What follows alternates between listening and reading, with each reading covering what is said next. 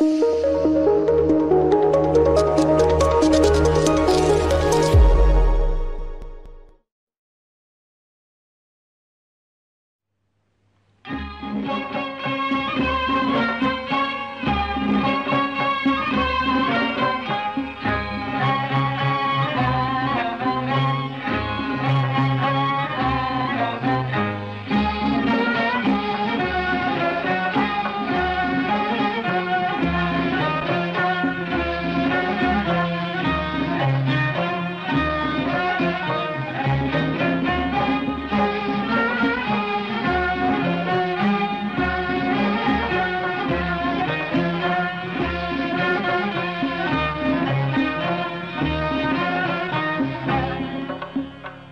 کتاب جیران و اسرار حرم سرای ناصر الدین شاه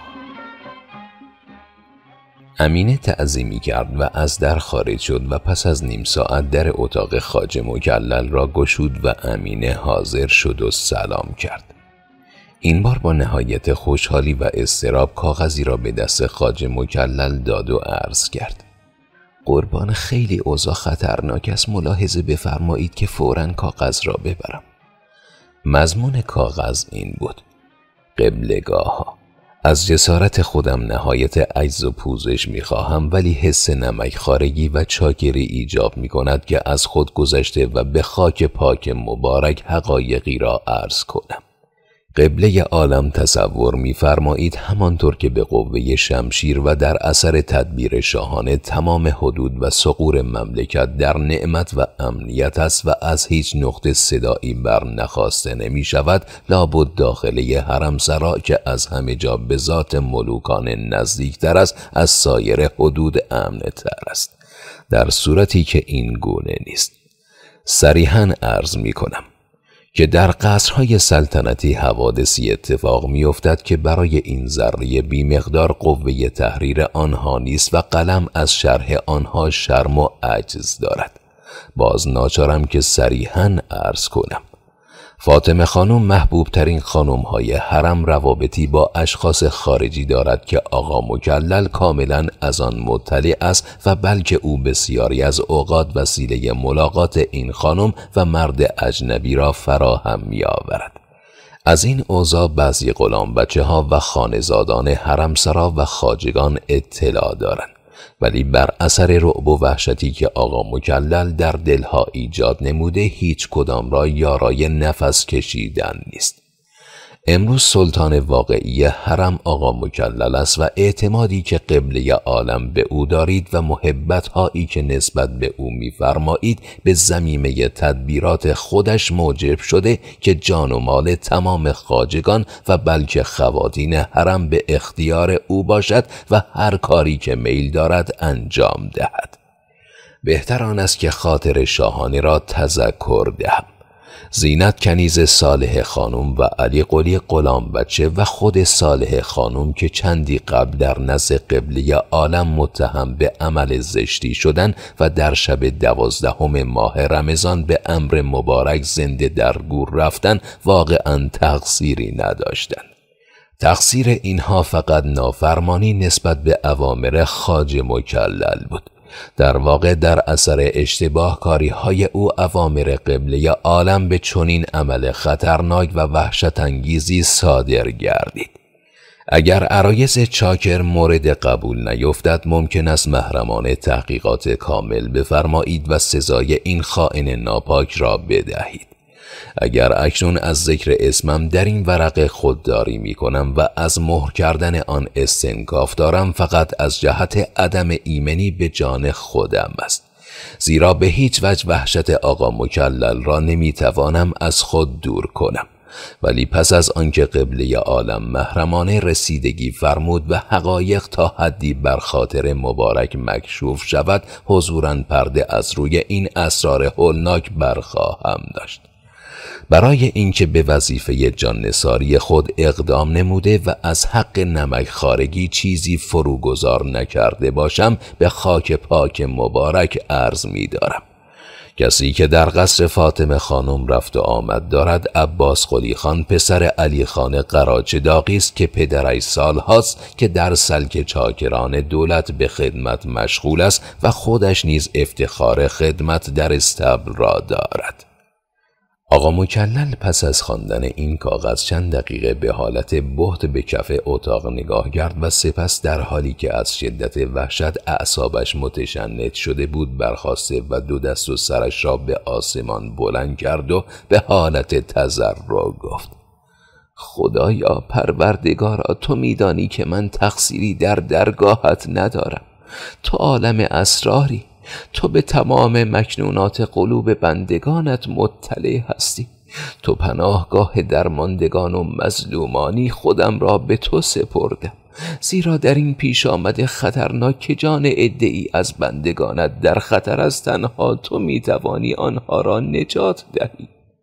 آقا مکلل پس از تمام شدن این مناجات گونه های خود را با دستمال سفید حریرش از اشک پاک نمود و سپس سری تکان داد و رو به سهراب کرد و گفت سهراب قضیه کوچک نیست. دشمنان ما توطعه بزرگی برای نابودی ما چیدند پناه به خدا تا فردا صبح من و فاطمه و امینه و عباس قلی و شاید جمعی دیگر یا سرنوشت صالحه و زینت و علی قلی را پیدا خواهیم کرد و زنده زنده در صحنه همین باغ به گور خواهیم رفت و یا آنکه به دست میر غضب بیانصاف سپرده شده و بند از بندمان جدا خواهد شد. و مجددا سر را به طرف آسمان بلند کرد و با حال تذرع گفت. ای کسی که جان من و شاه و تمام کائنات در قبضه قدرت توز به ذات مبارکت پناه می‌برم. سهراب خان نیز گرچه مضطرب و متوحش بود ولی چون در این اتهام به هیچ وجه پای او در میان نبود استرابش از آقا مکلل کمتر بود و به این جهت بهتر از او می‌توانست چاره اندیشی کند. او در این ساعت ناسه خوبی بود و در ضمن دلداریش می‌داد و می‌گفت آقا جان آیا قضیه چهار سال پیش را که در همین قصر اتفاق افتاده و سه نفر بیگناه در اثر دسیسه دشمنان شما به دست میرغضب گرفتار شدن به خاطر دارید؟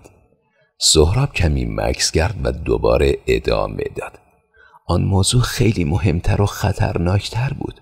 با وجود این شما به قوه فکر و تدبیر بر آن فائق شدید و به شاه ثابت نمودید که در چاکری و جان نساری شما تردیدی نیست. در این قضیه هم الله پیروز خواهیم بود. آقا مکلل که در تمام مدت حرف زدن سهراب به فکر فرو رفته بود گوش به کلمات او می‌داد. مثل آنکه از خواب عمیقی بیدار شده باشد نفس عمیقی کشید و خیره خیره به صورت سهراب نگاهی انداخت و گفت سهراب راست می‌گویی باید فکر چاره ای کرد فعلا دو چیز خیلی لازم است. یکی آنکه بفهمیم و کاملا یقین کنیم که شاه خواب است یا بیدار. دیگر اینکه با نهایت دقت و به سرعت باید قضیه را به اطلاع عباس قلی خان رسانید که در همین شب فورا از شهر خارج شود و به قریه رحیم آباد کن که ملک پدرش است برود. باید تا قبل از ملاقات با من به هر عنوان است از حاضر شدن در حضور شاه خودداری کند مخصوصا باید به عباس قلی خان سریح حالی کرد که اگر کمترین تقافلی از این امر کند و یا قبل از این ملاقات من به حضور شاه یا کسی که مأمور رسیدگی به کار او خواهد شد حاضر شود کاملا مورد بدگمانی واقع می شود مطالب محرمانه کشف و به قتل خواهد رسید. زیرا یقینا از امشب سحر اگر شاه فرمان قتل ما را ندهد اقلا شروع به رسیدگی و تفتیش می کند چون عباس قلی از ماوقع اطلاعی ندارد قطعا مورد سوء زن واقع می شود و خود او من و فاطمه خانم و دیگران نابود خواهیم شد. سپس دست به زیر متکایی که پشت سرش بود برد و چهار کیسه کرباس سر به مرک محتوای اشرفی بود به سهراب داد. این کیسه ها هر کدام دارای یک صد اشرفی طلا بود و سهراب کیسه ها را گرفت و خواست حرکت کند که آقا مکلل مجددا او را صدا زد و گفت به چه وسیله به عباس قلی خان اطلاع می دهی مواظب باش امشب تمام دشمنان ما در تفتیش هستند. از سایی که تو از حیات این قصد خارج شوی چشم های زیادی دنبال تو هستند. بنابراین مبادا بیگدار به آب بزنی بگو ببینم به چه وسیله مطلب را به او میرسانی. سهراب گفت البته من مواظبم و خطرناک بودن موقع را می‌دانم. من اگر خودم بخواهم از در ارک بیرون روم اولا مورد سوء زن اشخاصی که مراقب حرکاتم هستند واقع خواهم شد. ثانیا قراول های جلوی ارک و اشخاص دیگری که در کشیک خانه همایونی بیدارند مرا می‌شناسند. ممکن است فردا از طرف آنان مورد سوال واقع شده و علت بیرون رفتن من از ارک را بپرسند. آن وقت من نمی‌توانم جواب دهم. ولی من راه بهتری برای انجام این عمل دارم که به هیچ وجه سوء زن تولید نمی کند. در واقع می‌خواهم بگویم که اسکندر غلام بچه و خانه شاگرد خانم کوکب سلطنه را محرمانه ببینیم. با دادن مقداری اشرفی و وعده انعام های دیگر او را به بهانه آنکه شکوف کنیز مخصوص کوکب سلطنه به دل درد شدید مبتلا شده و حالش خطرناک است. در واقع لازم است شبان دستوری از میرزا جلینوس حکیم مخصوص بگیرد و از ارگ بیرون کنم. البته قبلا باید شکوفه را مطلع کرد که خودش را به دل درد بزند و ناله و فریاد برآورد. به این ترتیب به خوبی اسکندر مأموریتش را انجام می دهد و چون اسکندر جوان باهوش و تربیت شده و زرنگیز می‌دانم که کاملا از عهده این کار برمیآید. سهراب به قصد انجام مأموریت از در اتاق بیرون رفت و آقا مکلل که دقیقه ای از وحشت و استراب آسوده نبود و در عین حال فکر موشکاف و دقیقش مرتبا کار می‌کرد به خیال افتاد که قسمت دوم فکرش را به موقع اجرا بگذارد و بفهمد که شاه خواب است یا بیدار. این موضوع بسیار مشکل بود زیرا در آن موقع شب چه کسی را جرأت آن بود که بالای سر ناصر دین شاه رفته و این قضیه را کشف کند. به علاوه ممکن بود کنیزان و غلام بچه ها و غلامانی که در اطراف خوابگاه بودند ملتفت این موضوع شده و فردا در ضمن تحقیقات همین که کار آقا مکلل خراب و ستاره اقبالش رو به افول رفته چیزهایی از این موضوع بروز داده و برگه ای به دست مفتشین دهند. پس از تفکر زیاد بالاخره فکر عمیق و روشنبین آقا مکلل به اینجا منتهی شد که هیچکس جز فاطمه خانم قادر به انجام این کار نیست. زیرا گرچه ممکن بود امینه گیس سفید مخصوص و گلنار کنیز گرجی که مراقب داخلی اتاق خوابگاه با آنها بود این کار را انجام دهند. ولی از طرفی اگر در حین انجام این مأموریت رفتن بالای سر شاه برای تجسس این موضوع شاه ناگهان بیدار می‌شد تمام نقشه های آقا مکلل نقش براب می‌شد و ممکن بود آنها مورد سوء زن واقع شود. از طرف دیگر گرچه امینه کاملا مورد اعتماد بود ولی به گلنار تا این درجه اعتماد نداشت. اگر تنها از امینه این موضوع را می‌خواست چون گلنار و امینه هر دو در خوابگاه بیدار و مراقب احوال شاه بودند محتمل بود که گلنار از این قضیه مطلع شده و چیزی بروز دهد.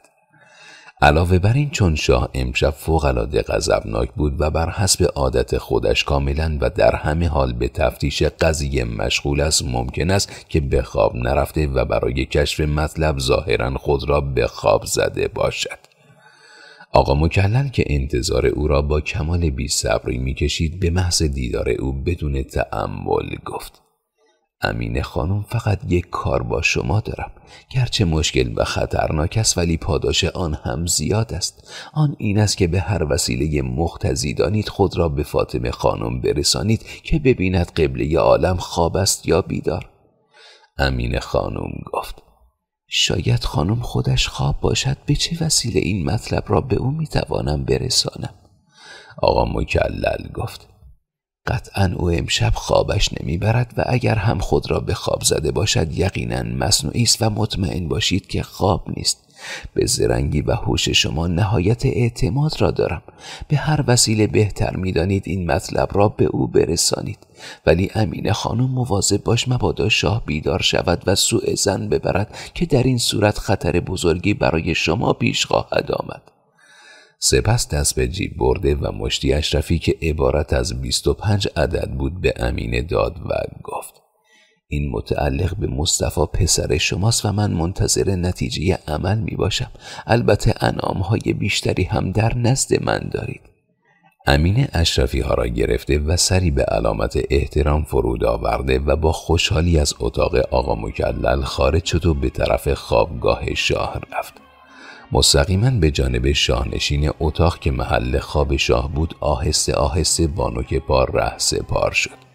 در شاهنشین خوابگاه دو تخت خواب بود که این دو تخت خواب یکی از چوب فوفل سیاه ساخته شده مرصب جواهرات گرانبها بود و یکی دیگر خاتم بود که در نهایت زیبایی ساخته شده بود.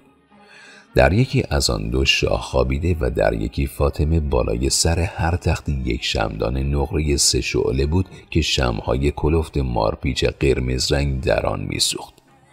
امینه می‌خواست ببیند فاطمه خواب است یا بیدار.